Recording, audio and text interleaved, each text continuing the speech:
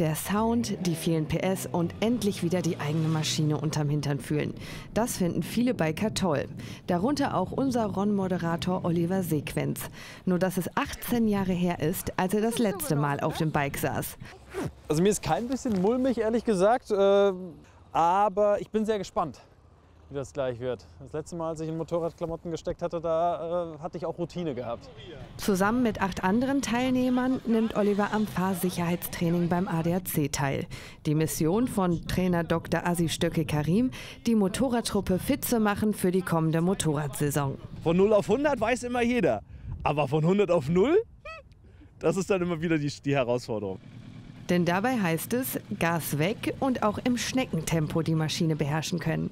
In fünf Stunden werden alle Basics einer Kurvenfahrt aufgefrischt, im Einzelnen analysiert und korrigiert. Egal ob Fahranfänger oder Fahrprofi, hier kann jeder noch etwas lernen. So auch Teilnehmer Toni. Er fährt schon seit mehr als zehn Jahren. Man weiß, man hat immer bis der Reserve noch. Man meint, oh, das hätte besser werden können, hätte man besser nehmen können, die Kurve. Und es geht halt, man merkt, oh, da geht noch was. Und auch Oliver ist wieder angefixt von dem PS-Spaß. Wenn die ersten Meter dann mal rollen, dann kommt das Gefühl dann schon äh, genau. sehr, sehr viel schneller. Bei einigen zu schnell. Allein in Baden-Württemberg gab es im letzten Jahr mehr als 100 tödliche Motorradunfälle. Das sind rund 40 Prozent mehr als noch 2016.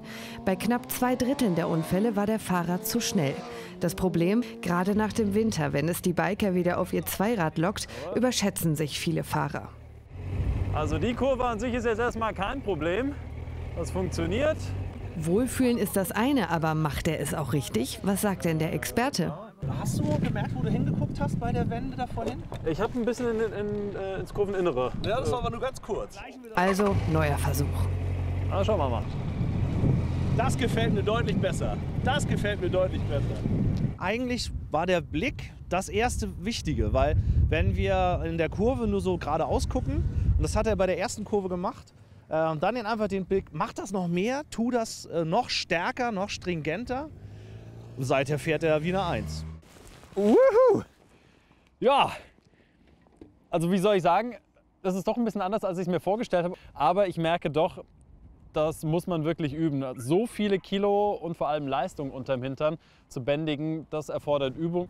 Und das gilt auch für die, die nur für die Saison raus waren. Denn wer nach der Winterpause aufs Motorrad steigt, sollte laut Experte auf Folgendes achten. Vor allem erstmal mentale Fitness, entspannt sein, sich auch nicht zu viel vornehmen am Anfang. Und äh, die Maschine kennen, auch den, den ganzen inneren Fitnesscheck. Bin ich so weit entspannt? Ist das Wetter so?